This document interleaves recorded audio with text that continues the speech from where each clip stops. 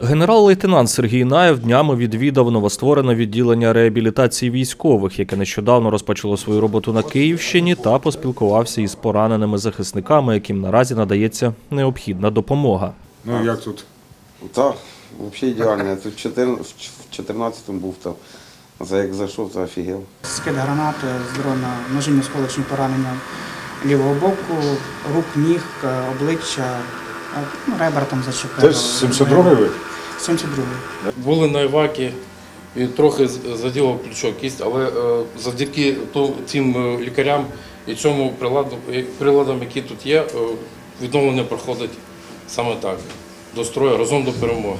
Серед 20 бійців, які нині проходять реабілітацію, майже всі розпочали свій бойовий шлях або з початком повномасштабного вторгнення, або ще із 2014 року. Ніхто ані хвилини не вагався, всі стали на захист батьківщини. Автомат роздавали, то вже не в Київській області були, то я швидко взяв та й пішов 114. Аби швидко відновити здоров'я захисників, у відділенні створені всі умови: нове обладнання і кращі спеціалісти. Працює кабінет апаратної терапії, е, кабінет фізичної та медичної реабілітації, кабінет психологічної підтримки, масажний кабінет. Е, Пацієнти різного ступеня важкості, зазвичай це післятравматичні полінейропатії, мононевропатії, е, це після кульових поранень верхніх та нижніх кінцівок з контрактурами верхніх та нижніх кінцівок.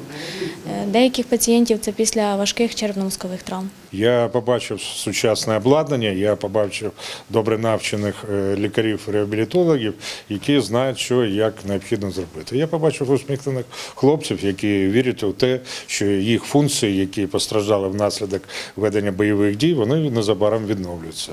І світла віра в це є і в мене. Дмитро Ніжельський, Дар'я Гончарук. Новини. Телеканал Крокус.